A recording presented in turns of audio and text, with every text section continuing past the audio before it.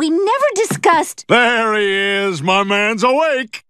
Why? Oh my god. Uh, I think the boys in the lab made a mistake. You think? Well, I got my pubic hair back. A whole bunch of them. They're white as frickin' Christmas. It's like Santa Town down there. And look at my pendulous nads. Every time I walk, it's like a game of Gnipkanop. You rat bastards! You sons of... Steve, Weather Channel. I'm not interested in... Whoa, looks like a storm front's headed for Seattle. Don't want to be on those roads. I was just reading this article about a bubble man. He comes to your party and makes big bubbles. Saints alive! Minus 14 in Minneapolis? Oh, no thank you. Is that... Is he... Great. Nice. Good. I guess I'll head back to the lab and straighten this thing out once and for all. Yeah, you do that. Do something right for once in your life. Shut up, old man.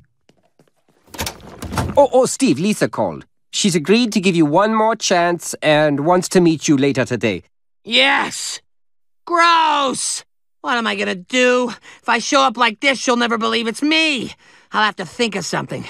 Something clever and easy to explain. Hi, I'm Future Steve. I've been sent back in time 80 years by the Imperial Order, of which I am recording secretary. What? I remember these. Now, I've been commissioned with two responsibilities. First, to assure you that Steve will be at the dance and is looking forward to it. And second,